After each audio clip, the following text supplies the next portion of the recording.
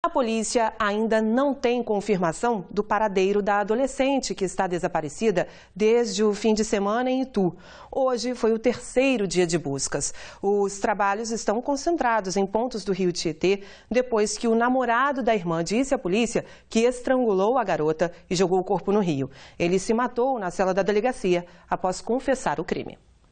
É aqui, na imensidão do Tietê, que os bombeiros ainda procuram pelo corpo de Isabela Ferreira Leite, de 17 anos.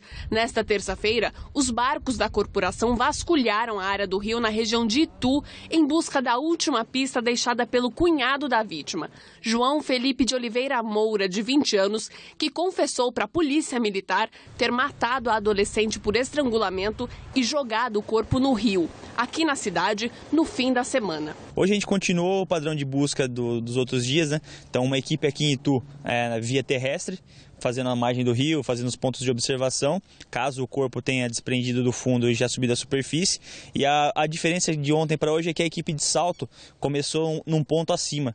Segundo o primeiro tenente, características como a temperatura da água, que diminuiu nos últimos dois dias, levam a crer que o aparecimento do corpo pode ocorrer até quarta. Normalmente o corpo, quando ele é afogado, ele tende a 3 a 4 dias a decomposição dele, o trabalho de decomposição, até que o corpo suba à superfície. O que a gente tem de diferente nesse cenário é que, como está um, um, período um pouquinho mais frio, talvez a gente tenha entre 4 e 5 dias. Na tarde desta terça-feira, a corporação recebeu a informação sobre um suposto corpo visto na região do Parque das Lavras, em Salto. Mas foi alarme falso. Ele na verdade se enganou, que ele viu de uma certa distância, era um tronco que estava boiando na flor da água, e realmente, do ponto de vista que ele estava, parecia um corpo porém não era. É, e como esse caso tá, tá no clamor, tá todo mundo antenado nesse caso, qualquer coisa que suspeitem, eles vão ligar. E é isso que a gente recomenda. Se vê alguma coisa parecida com o corpo, alguma coisa no Rio Tietê, que entre em contato, que é mais um ponto de busca que a gente vai trabalhar. Para a família e amigos, a espera por uma resposta traz muito sofrimento. Eu peço para que todos também, nós todos, a gente nunca sabe que, o que pode acontecer e nunca passou na cabeça da gente que acontecer isso com uma irmã minha, ela é minha irmã.